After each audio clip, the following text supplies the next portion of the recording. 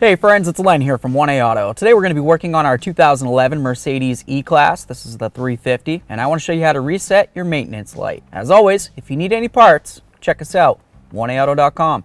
Thanks. One of the first things you're going to do is take your key, put it in just one click.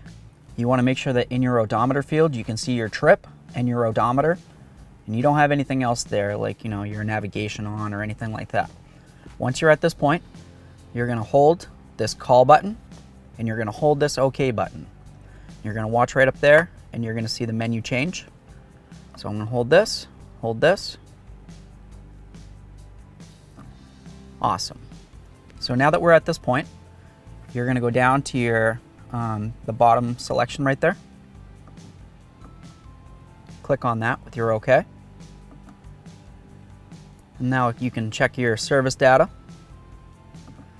or if you performed a for, uh, full service like what we did, you would click on that.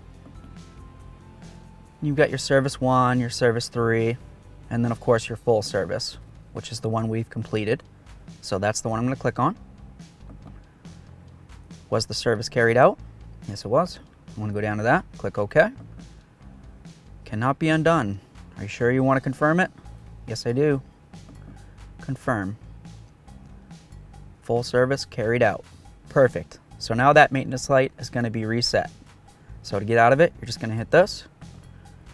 We'll back right out. Turn off the key. That's it. Thanks for watching. Visit 1AAuto.com for quality auto parts shipped to your door, the place for DIY auto repair. And if you enjoyed this video, please click the subscribe button.